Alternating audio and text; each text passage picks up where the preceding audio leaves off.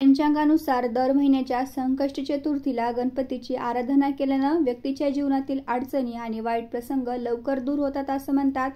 सुख सौभाग्य संतती समृद्धी आणि कुटुंबाच्या कल्याणासाठी महिला संकष्ट चतुर्थीचं व्रत ठेवतात.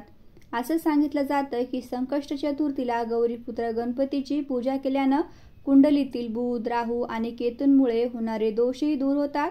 चला तर मग जाणून घेऊया संकट चतुर्थीनिमित्त ग्रह दोषापासून मुक्ती मिळवण्याचे विशेष उपाय. पण त्याआधी चॅनलला सबस्क्राईब नक्की करा. संकट चतुर्थीच्या दिवशी अनेक जण गणपतीचा आशीर्वाद घेण्यासाठी दिवसभर उपवास करतात. या दिवशी सकाळी लवकर उठून घरातील देवघराची स्वच्छता करून श्री गणेशाची पूजा करावी. या दिवशी श्री गणेशाला उत्तर दिशेला तोंड करून पाणी अर्पण करावं आणि पाण्यात थोडे तीळ मिसळावे असेही सांगितलं जातं.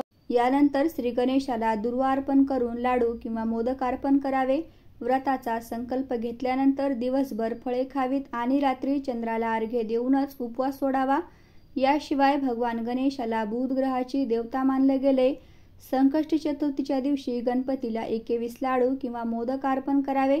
आणि ओम राम ब्रीम ब्रोम सोम बुद्धाय नवा असा जप करावा असं मानलं जातं. यामुळे बुधाच्या दोषापासून आराम मिळतो.